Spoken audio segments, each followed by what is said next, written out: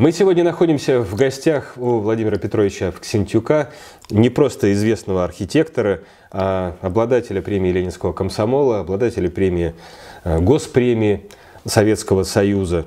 России. России уже, да? России. Уже России. А в ближайшее время я очень надеюсь, что Владимира Петровича сделают народным архитектором, то есть признают то, что мы-то уже бесконечное количество лет знаем хорошо.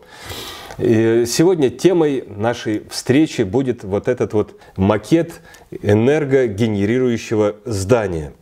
Звучит как-то немножечко странно, но по всем расчетам инноватора, владельца компании «Энергия-2020» Дениса Тяглина, все так и должно случиться.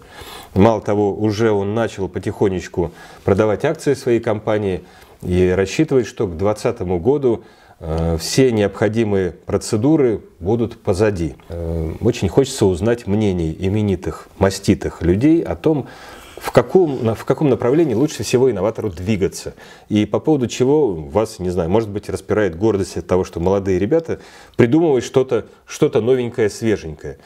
Я думаю, что у нас вполне этот проект может быть значит, реализован. Вот я бы его сделал, вот сейчас застраивается, значит, Академгородок, угу. и застраивается та зона, которая как бы у моря. Угу. Теперь мне кажется, что, конечно, нужно как можно быстрее, потому что это очень востребовано. Я очень надеюсь, что и подобное здание – окажется в числе заказов вашей мастерской. О, это было бы прекрасно. Я бы с, с удовольствием поработал над таким объектом. Э, идеологом, соидеологом вот этого проекта «Энергия 2020» это Дениса очень, Тяглина. Очень... Спасибо огромное вам. Да не за что. Спасибо. Очень приятно было с вами пообщаться.